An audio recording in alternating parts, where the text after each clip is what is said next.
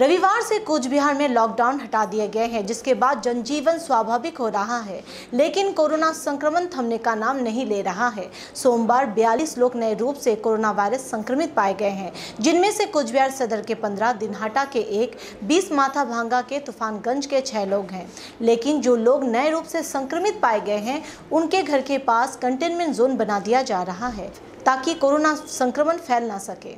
ऐसे में कुचबिहार शहर में भी कई स्थानों को सैनिटाइज कर वहाँ कंटेनमेंट जोन बना दिया गया।